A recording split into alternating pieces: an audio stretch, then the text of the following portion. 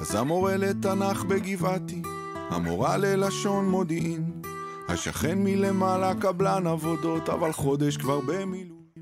חבר'ה, עמותת ישר לחייל, קמב"ץ, תדאגתם אותנו, יש פה עושה 150 משמרות לוחמים באוגדה. ששומרים ומגינים אחי האיש הייטק. בכיר, עכשיו הוא צלף על גגות ברצועה.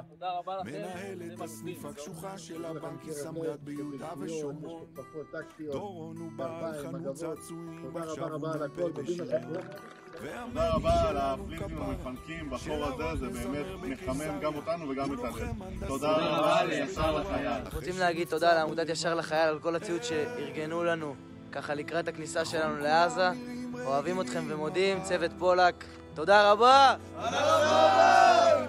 אנחנו לוחמי גבעתי, כאן בעזה, רוצים להגיד תודה רבה לישר לחייל, תודה על הטרמי, על הגרביים, על כל הדברים האיכותיים והשלבים. לנו, חולים עליכם!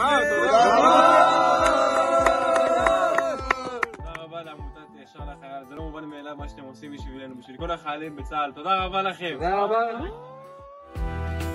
אנחנו עם של גיבורי על, בכל אחד תמיד מסתתר חייל, מוכן להציל את העולם.